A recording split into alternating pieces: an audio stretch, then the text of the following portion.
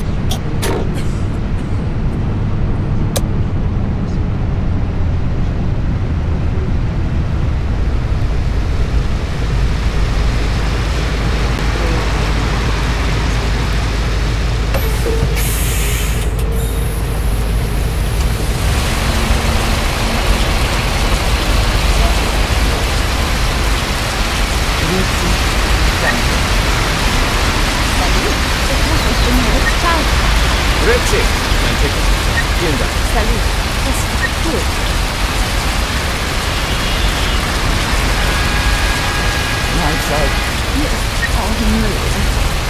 Würzen. Hier ist Pet, danke sehr. Mahlzeit. Hier, danke. Hallo? Danke. Gute Fahrt. Wenn Sie das Ticket verlieren, ist es gar nicht mehr zu